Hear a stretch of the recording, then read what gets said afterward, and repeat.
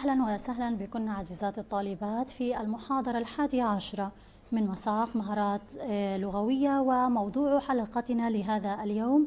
بإذن الله تعالى شهادة لمن يهمه الأمر. في شهادة لهم لمن يهمه الأمر سندرس بإذن الله تعالى آه، هذه الشهادة مفهومها ولمن تكتب. بداية شهادة لمن يهمه الأمر لا توجه لجهة معينة وإنما تقر بأمر ما حسب طلب طبعا إيه، طالب هذه الشهادة. وحسب الموضوع الذي إيه، يريد طالب هذه الشهادة أن يكون مثبتا في هذه الورقة سواء يعني كان هذا الموضوع بخص الخريجين أو الموظفين في أي مؤسسة كانت. آه، طبعا تعنون أو عنوان الشهادة كما نرى هنا لمن يهمه الأمر وطبعا هذه الشهادة آه، تخلو من التحيتين الافتتاحية والخاتمة أيضا. آه، كما تحتفظ تحتفظ ببقية أجزاء الرسالة التجارية من أمور يعني التاريخ كالتاريخ واليوم وأيضا الإشارة إلى أي موضوع. إذا إيه، يشترط أيضا فيها أنها تختتم بالختم الرسمي للمؤسسة ويوقعها أناس معتمدون لكن إيه، يخلو تخلو المسؤولية عنهم بخصوص هذه الشهادة وبخصوص هذا الموضوع. إيه، هذه الشهادة الشهادات أو إذا كانت الشهادات تستخدم لدى جهات خارج الدولة التي صدرت منها الشهادة فيجب اعتمادها من الوزارة وليس من أشخاص معتمدين آه، لأن الوزارة هي آه، يعني آه، بصفتها المؤسسة الرسمية لاعتماد البيانات أو الأمر أو الموضوع الوارد في هذه الشهادة. ثم يتم اعتمادها من وزارة الخارجية ثم من سفارة الدولة التي تستخدم فيها هذه الشهادة وبالتالي يكون الاعتماد إذا كانت موجهة هذه الرسالة إلى دولة خارجية إذا الاعتماد يكون من ثلاث آه، أطراف وهي كما قلنا آه، جهة اللي هي وزارة المعنية بهذا الموضوع ثم وزارة الخارجية ثم سفارة الدولة في الدولة التي سيتم إرسال هذه الشهادة إليها. أيضا نموذج لشهادة إيه، لمن يهمه الأمر. إيه، طبعا ترويزة المؤسسة مهمة جدا والترويزة عبارة عن الشعار واسم المؤسسة وعنوان المؤسسة في أسفل. الترويسة أو تذييل الصفحة ثم تعنون هذه الشهادة بالموضوع المعني وهو لمن يهمه الأمر. ثم نكتب طبعا لا تحية افتتاحية ولا أيضا تحية ختامية. نكتب تشهد الجهة طبعا المصدرة للشهادة مثلا الكلية الجامعية. فنكتب تشهد الكلية الجامعية للعلوم والتكنولوجيا بأن الطالبة أو السيد الموظف أو ما شابه ونكتب الموضوع. مثال على ذلك مثلا تشهد الكلية الجامعية للعلوم والتكنولوجيا بأن الطالبة قد أنهت دراستها للعام 2016 في الكلية الجامعية آه، طبعا بتقدير كذا أو ما شابه حسب طبعا الأمر المعني أو حسب الإفادة أو آه، الشهادة التي آه، نريد أن نثبتها في هذه الشهادة من أمر أو موضوع خاص يوجه إلى جهة معينة حسب الطالب هذه الشهادة. طبعا بعد ما نبين الموضوع سواء إقرار آه، بأن هذه الطالبة تدرس في الكلية أو غيرها آه، نكتب في النهاية وقد أعطيت له أو لها هذه الشهادة بناء على طلب طلبه أو طلبها دون تحمل أي مسؤولية تجاه حقوق الغير وبيتم كتابة اسم المؤسسة أو الشخص المعتمد أو آه، يعني الوزارات أو المؤسسات الثلاثة إذا كانت هذه الشهادة ستكون موجهة إلى دولة خارجية ثم التوقيع. طبعا التوقيع يجب أن يكون رسميا آه، وذلك آه، طبعا نعرف بأن البيانات أو الموضوع الذي ورد في هذه الشهادة هو وارد من جهة رسمية ومعتمدة. هذه البيانات أو المعلومات التي تخص سواء الموظف أو تخص الطالبة بذاتها. هذا بالنسبة لموضوع لمن يهمه الأمر الشهادة. وننتقل إلى موضوع آخر وهذا الموضوع أو قبل الانتقال هنا كما قلنا نموذج آخر أو نفس النموذج آه، للترويسة آه، للشهادة فيها ترويسة واسم المؤسسة وعنوان المؤسسة كما قلنا. ثم ننتقل إلى موضوع آخر وهذا الموضوع سيكون عن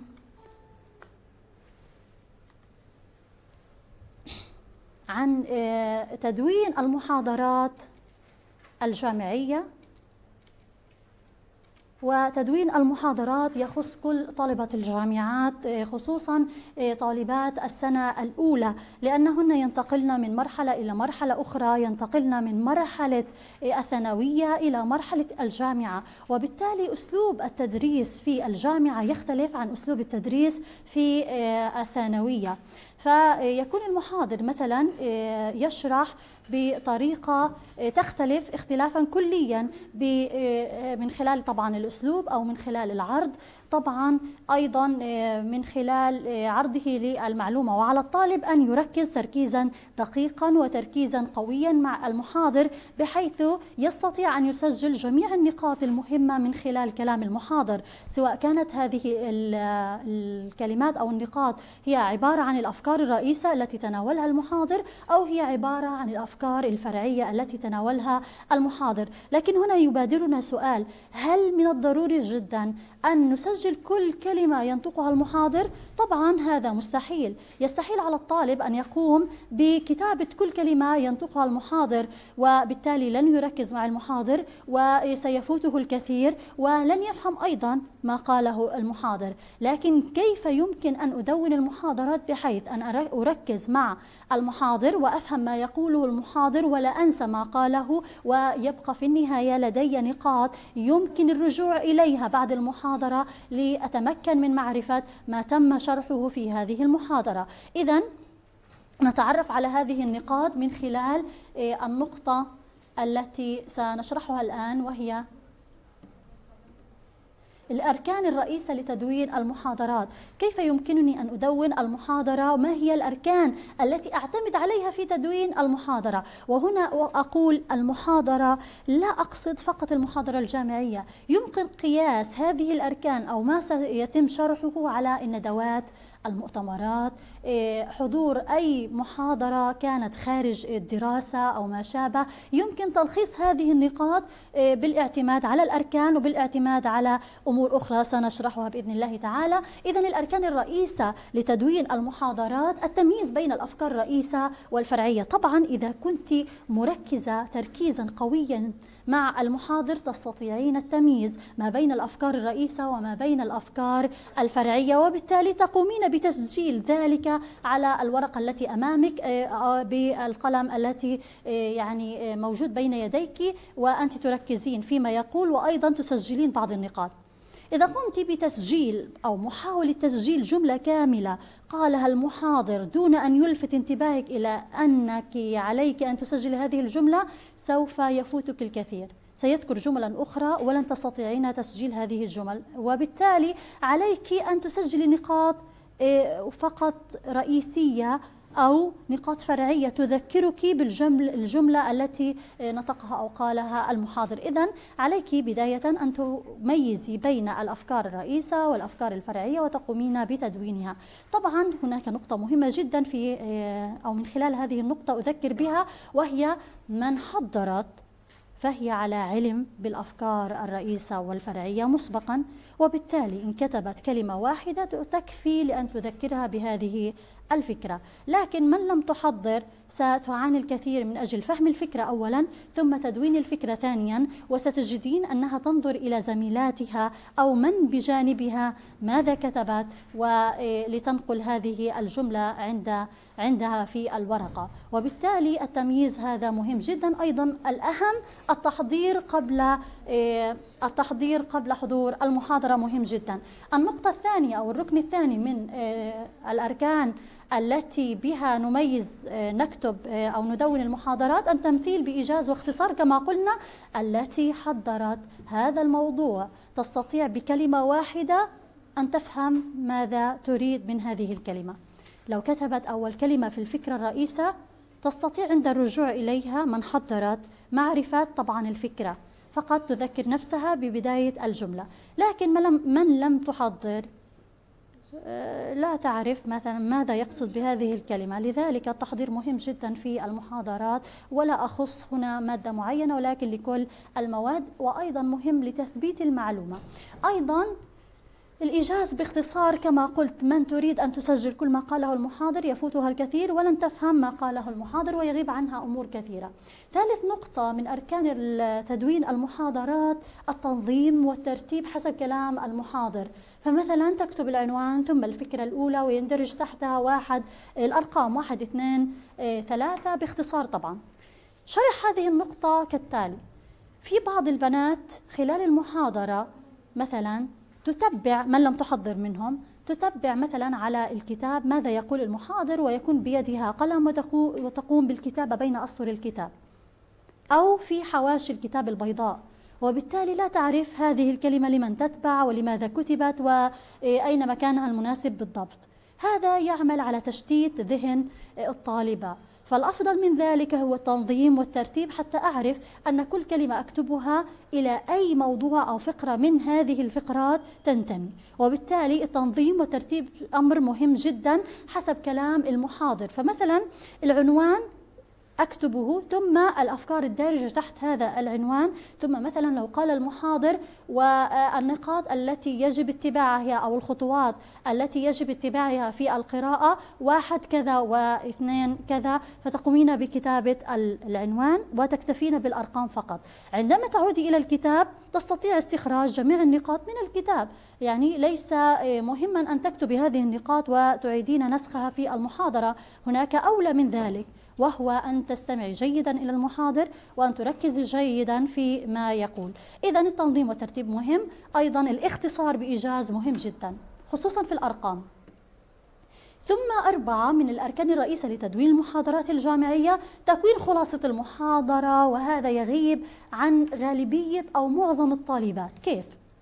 تكوين خلاصة المحاضرة يعني سؤال هل من طالبة عندما تخرج من المحاضرة تجلس مع نفسها ولو خمس دقائق لكتابة ملخص عن المحاضرة.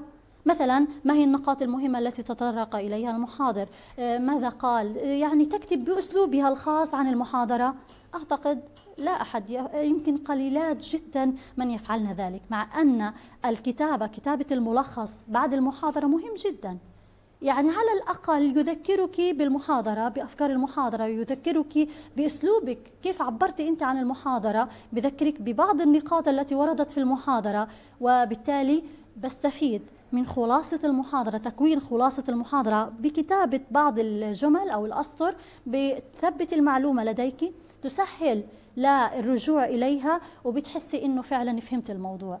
لكن بدون التدوين وبدون الكتابة يا بنات بحس إني ما فهمت أو المعلومة لم تثبت بدرجة قوية جدا مثلا أنا لما أقرأ كتاب أو خبر للوهلة الأولى أو المرة الأولى هل المعلومة تركز في آه، ذاكرتي؟ لا قرأتي لو قرأتيها لمرة واحدة ثم مثلا قمت بقراءتها مرة ثانية أو أحد قرأ إحدى الزميلات قرأتها عليك. ستشعرين بأن آه، يعني هذه المعلومات مرت عليك وليست بجديدة. طيب. ثم راجعت المادة مرة أخرى. إذا كم مرة آه، تكررت على مسمعك؟ أو يعني على إيه، كم مرة يعني فهمتيها أو قرأتيها ثلاث مرات وبالتالي كافية لأن تثبت هذه المعلومة. لكن مشكلة طالباتنا اليوم أو خريجينا اليوم بشكل عام هي أنه الكتاب ما بفتحه قبل المحاضرة أو بعد المحاضرة إنما أحضر المحاضرات. نعم وألتزم بحضور المحاضرات لكن أفتح الكتاب قبل الامتحان بيوم. هذه مشكلة. ثم أنا إيه، أقاتل من أجل درجة أو درجتين أو ثلاثة مع أن المعلومة لم تثبت لدي. وبالتالي آه، يعني ما هدفك من الدراسة في النهاية؟ أنت تخرجت لكن هل تذكرين جميع ما ورد فيه من معلومات طبعا آه، في آه، خلال يعني هذا التخصص أو السنوات الدراسية في الجامعة؟ طبعا لا. إذا ما الفائدة؟ دائما التركيز على الاستفادة من المعلومات التي ندرسها أفضل من التركيز على الدرجات. لأن الاستفادة هذه هي التي ستنفعك يعني بعد حين. والإنسان المثقف أو الذي يحضر لا ينسى كالذي لا يحضر أو يدرس قبل الامتحان بيوم. هذا بالنسبة للأركان الرئيسة لتدوين المحاضرات وهنا يمكن أن يأتي سؤال وهو ما هي الأركان الرئيسة لتدوين المحاضرات في الامتحان؟ ثم ننتقل إلى الفوائد. إذا أنا قمت بتدوين المحاضرات والاعتماد على هذه الأركان. إذا ما الفائدة التي يجنيها الطالب من التدريب على تدوين المحاضرات؟ هذا أمر مهم جدا. أولا وقبل أن أتطرق إلى النقاط المكتوبة تكون لديه مهارة تدوين المحاضرات. مهارة تدوين المحاضرات لا يجيدها الكثيرون. وبالتالي أنت إذا كانت أفكارك منظمة وتجيدين كتابة المحاضرات بحيث أن تكون يعني كتابة أو تدوين المحاضرات بطريقة منظمة وبطريقة مرتبة هذا أمر مهم جدا. لذلك امتلاك المهارة جيد ويفيد في المستقبل وأيضا أثناء الدراسة. في المستقبل لحضور ندوة لحضور مؤتمر لحضور أي أمر يتعلق بالتخصص أو غير التخصص تستطيعين استخلاص آه، خلاصة المحاضرة أو يعني تدوين المحاضرة. من الفوائد التي يجنيها الطالب من تدوين المحاضرات أول شيء شد انتباه الطلاب أو يعني ما لخصه الطالب وما دونه الطالب. لا يمكن أن يدونه بدون انتباه. إذا جعله إذا كان يركز الطالب على تدوين المحاضرة يجب عليه أن يكون شديد الانتباه لما يقوله الأستاذ. وبالتالي آه، إذا يكون شديد الانتباه من البداية وحتى النهاية حتى لا يفوته شيء. ونحن نعرف في الجامعات يتم أحيانا في المحاضرات شرح ما يقارب عشر صفحات أو عشرين أو حتى ثلاثين. وأنا أذكر في الجامعة كان المحاضر يشرح أحيانا خمسين أو ما يفوق ذلك من الصفحات. طبعا بعدم التركيز على جميع النقاط. يعني أستخلص من المحاضرة بأن بعض النقاط كانت مهمة وبعض النقاط لم تكن مهمة وبالتالي يجب على الطالب أن يكون مركزا فيما يقول الأستاذ وكاتبا لكل نقطة مهمة تطرق إليها الأستاذ. والأهم من ذلك وأكرر أن يكون قد حضر المادة حتى يستطيع أن يعرف أين الجملة بالضبط أو أين السطر بالضبط وأين العنوان بالضبط الذي تطرق إليه الأستاذ. إذا من يدون المحاضرات عليه أن يكون شديد الانتباه. ثانيا القدرة على تحليل المحاضرات والتمييز بين المهم وغير المهم بين الفرعي وبين الفرعي والرئيس. فعلا من يدون المحاضرات يستطيع أن بكلمات بسيطة يكون قد دونها على الورقة أن يحلل المحاضرة ويعرف أي الصفحات مهمة أي المواضيع مهمة على ماذا ركز الأستاذ ما هو المهم. إذا أحيانا أحيانا الأستاذ يذكر من خلال المحاضرة بعض الأسئلة التي يمكن أن ترد في الامتحان. أو يعني يقول خلال المحاضرة هذا مهم وهذا غير مهم وركزوا على هذه الفقرة أو هذا الموضوع. هذه الكلمات بها أستطيع أن أركز على ما هو مفيد أو ما هو مطلوب في الاختبار. إذا ركزوا على هذه الأسطر أو هذه النقطة مهمة أو هذا السؤال يرد في الامتحان فالطالبة النبيهة تستطيع تسجيل كل ذلك. إذا مثلا الفقرة كذا إذا دونتها تستطيع الرجوع إليها من الكتاب. إذا دونت السؤال تستطيع الرجوع إلى الكتاب وحل هذا السؤال وبالتالي عند مراجعة الاختبار أو الدراسة للاختبار تعود إلى هذا السؤال وإجابة هذا السؤال. لأن المدرس أو الأستاذ قال هذا السؤال من خلال المحاضرة. وليس يعني يعني عبثا قاله هذا السؤال لا بالعكس يكون قد مر عليه نماذج كثيرة وربما يقول في أثناء المحاضرة هذا السؤال ورد في امتحان سابق فهذا أيضا مهم. إذا من يستطيع تسجيل كل ذلك؟ فقط الطالب شديد الانتباه والذي ينتبه لما يقوله المحاضر من بداية المحاضرة إلى نهاية المحاضرة دون أن يشوش على زملائه أو يتحدث حديثا جانبا أو حديثا ليس له أهمية وهذا للأسف ما نجده في المحاضرات.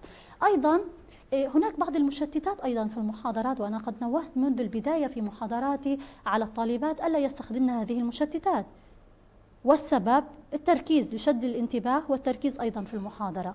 أيضا ثالث نقطة وهي القدرة على تنظيم التنظيم أو تنظيم الأفكار وترتيبها عند تدوينها.